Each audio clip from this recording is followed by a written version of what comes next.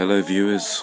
Welcome to Clark Kent's Rock and Roll Revue. This is uh, Clark Kent's Rock and Roll News, and uh, if you want to see the latest videos in the playlist that we uh, have before you today, all you have to do is press the link at the end of this video, which is in the, the description box of this video.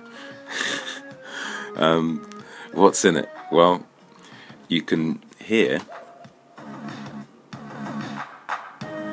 that there's Hotgothic. It's a remix.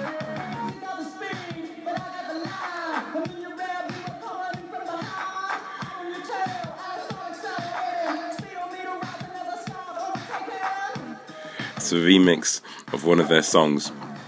Um, they've released an EP, which is a remix EP called uh, Garageflex. So there's stuff from that on this playlist. Um, also, there's Echo Boom Generation, there's Boom, Bones, even. I'm tired. Uh, there's also a video by Loose Joints, uh, which is written directed by myself, um, and that was awesome experience uh, that I want to share with you.